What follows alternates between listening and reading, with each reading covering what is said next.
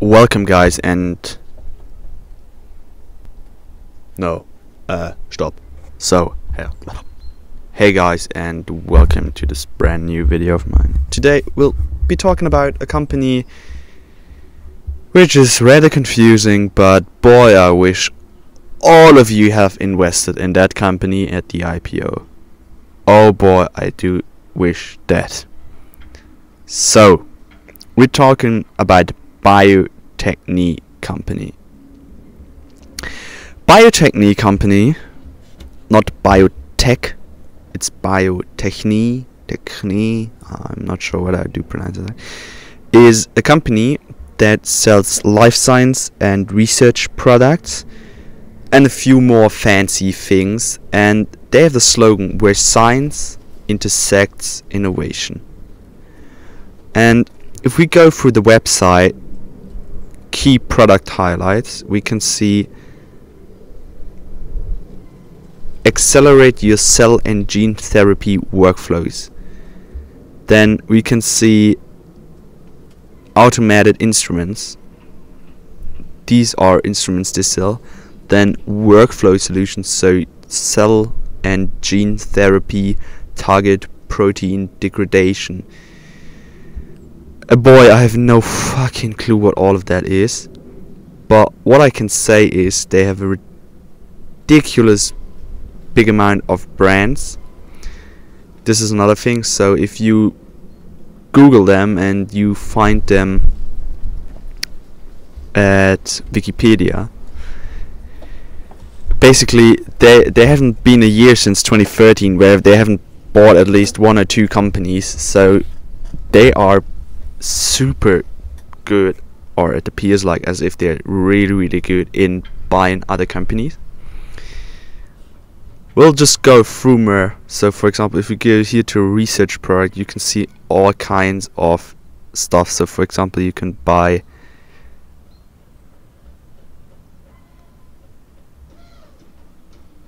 so for example as they say here you can buy and enzymes Bio-Techne offers a large catalog of high highly pure and active R&D systems enzymes for catalyzing a variety of different biological reactions. Yeah, I hope you all understand what I'm talking about. It's obvious, isn't it? Now, I just want to make sure, in this case, with Bio-Techne, I don't understand exactly what they're doing and how all of their stuff works. And I would be lying to you if I say I made that investment purely on the fact that I know everything about how their system works and so on because that would be a total lie.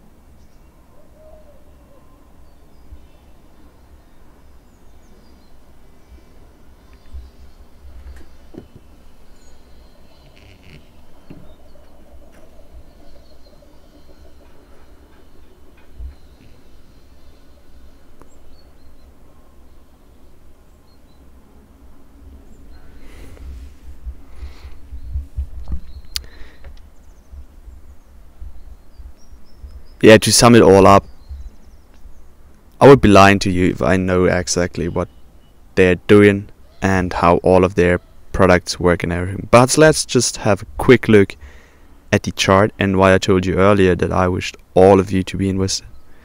This is a long-term graph of Techne Bio Company.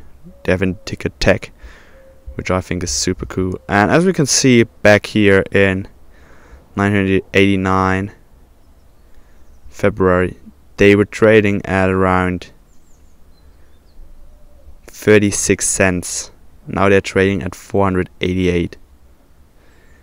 In other words, if we go an info line and then we start here and we go up all the way with a total return of 140,886 percent. By the way, that's the way how fortunes are built. Exactly with that growth. This is ridiculously. But here we have the problem of the hindsight bias. It looks obvious in retrospect, but in 89 no one, not even the founder or anyone could have predicted that Bio-Techne company will perform that well. But another criteria, as you know from myself, all-time high. More or less having a constant all-time high. And if we have a look at the daily chart, we can see that they had an all-time high just a few days ago, but they sold off quite a bit in recent days. Uh, I don't know why, to be honest, but even in COVID, that they crashed and then they went straight up again. But that's been it so far. Talking about the stock, let's just have a quick watch at Market Watch.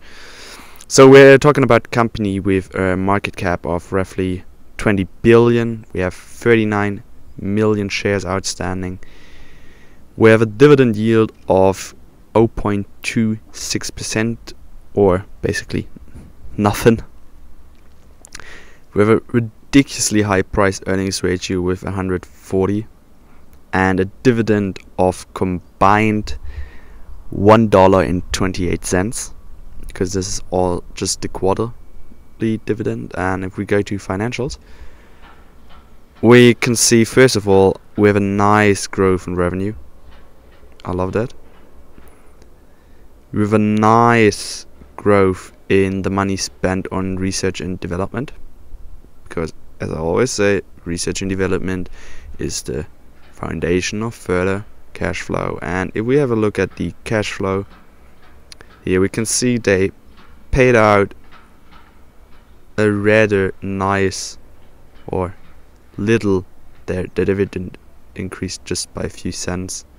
What we can say what we can see from the total amount of mm, dividends paid we can see they bought back some stocks but in rather small numbers so we have a total combined return of money to shareholders of 100 million and we have a free cash flow above that. This is what's really important to me and here from last year to this year we have a real real good increasement in the free cash flow let's see whether this is stable or not but from here I would say let's just jump straight into the investor presentation Bio-Techne, where science intersects innovation, corporate presentation June 2021. So we have a business overview. So President and CEO is the Chuck Kummeth. The headquarters is Minneapolis. I do not know what MN is. Minnesota, something like that. I don't know. Number of employees is 2,600 and they are represented at 35 locations worldwide. They're called tech on the Nasdaq. They had a market cap of 16 billion. Since then, they have increased, and we have a revenue for the fiscal year 2020 of 739 million. And what we can see here is how their revenue comes together. So we can see that the large portion of that is consumables. Then we have instruments, service, and royalties. Here we can see a few of their products. Oh, sorry, that's not being the revenue up here. Here we have the revenue by customer and type, so we can see the pharma biotech company. Oh, well, it's been the revenue for the areas, and here we can see the exact customers and types. So we can see that pharma and biotech is the biggest part. then academia, OEM, do not really know what that is, then distributors, and then we have the geographic which is America is still the biggest with 57%. Then we have uh, Middle East and Europe and Africa uh, with 25%. And then we have Asia with just 18%. Four key strategy for sustained growth. ge geographic expansion, core product innovation, gap filling with merger and acquisitions and market expansion. And they want a culture creation and talent. So they also actually cared a little bit about their ESG as I've said in my video about S&P Global ESG is going to become way more important in the years ahead than it is today. So they better keep an eye on that. So what we can see here is they have a large addressable end market between 14 and 20 billion. So for example, protein research reagents market size 3 billion market growth mid single digit biotech growth rate 9 to 11% and the Bio-Techne market penetration is roughly 10% and we can see here we have a lot of different markets and most of them are in the mid single digits.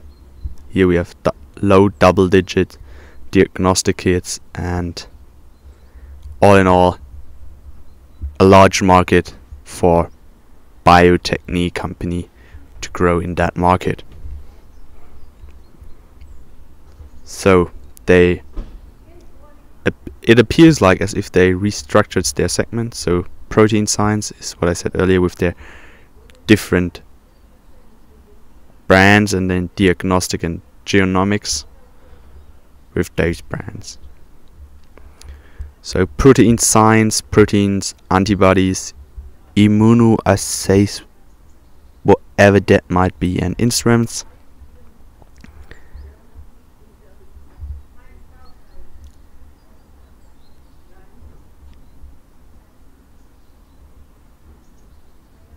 Yes, whatever.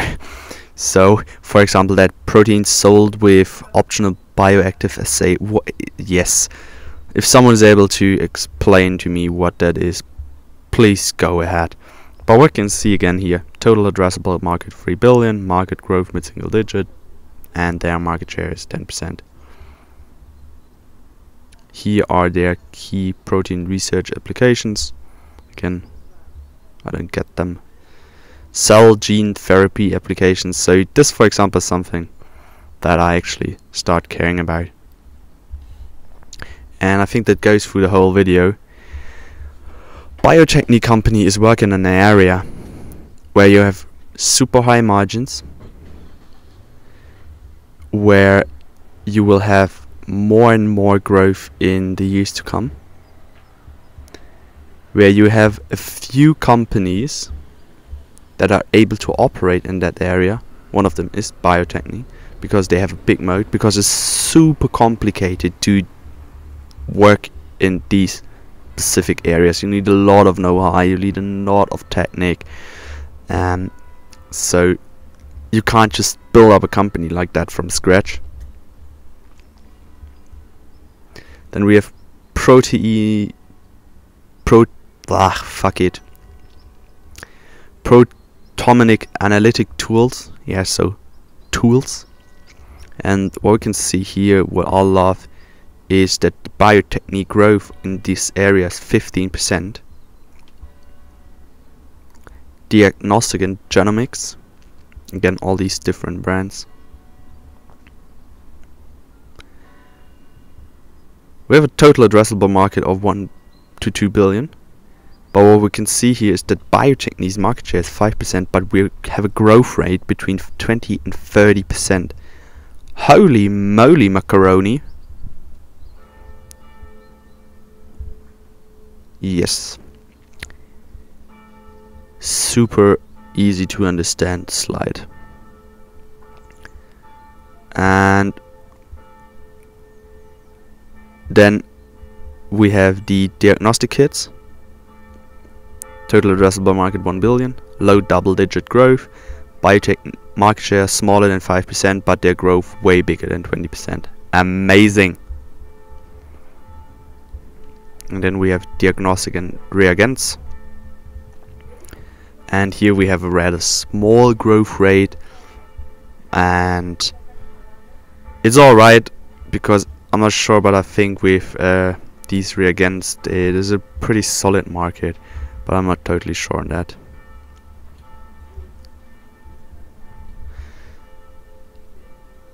Yes, this is obvious, the cross-body cell gene and therapy workflow solutions. But here we come to something that I like. Financial results under current leadership. So, we can see the organic revenue growth is rather good. The adjusted operating income is lovely. Just look at that growth from 190 uh, 169 million to 263 and the cash from operations is also almost doubling within the last 8 years. All things that I love. And we see here the revenue is assumed to be 1.5 billion 2025 and the operating income is assumed to be 0.6 billion and I would love to see that. I would really love to see that.